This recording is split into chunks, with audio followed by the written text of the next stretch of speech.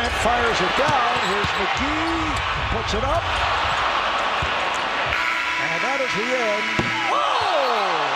Will that count? They will take a look at it. Rajon Rondo from deep in the back court. We saw J.R. Smith in a game. Yes. Do the same last week. And, and for both players, you have to not care about your percentage, and that's good, Miller. That is good from one free throw line to the bucket.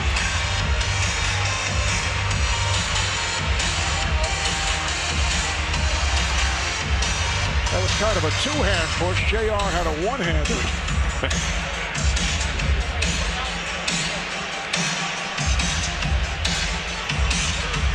Was Darius Miller took the shot. So Miller.